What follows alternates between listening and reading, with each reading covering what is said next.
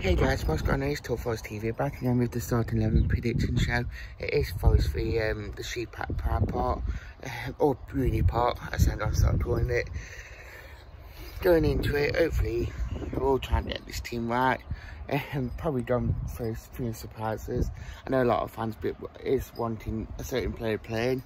Um, I will, I'm in mixed minds about playing him. I will be completely honest with you. I'm fully sweet.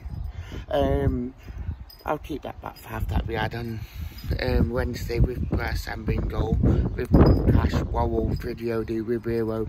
That's my back, well, goalkeeper and back four, but I call it the back five.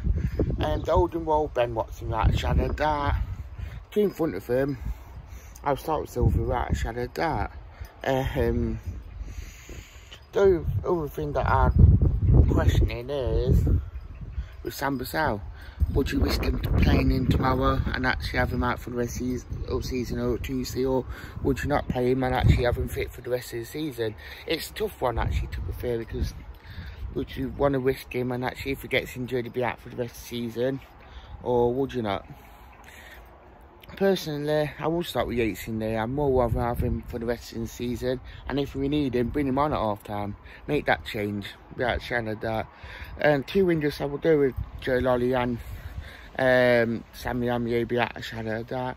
And with Lewis Grabban, near enough the same team that started on Wednesday. I wouldn't change a changing team, winning team.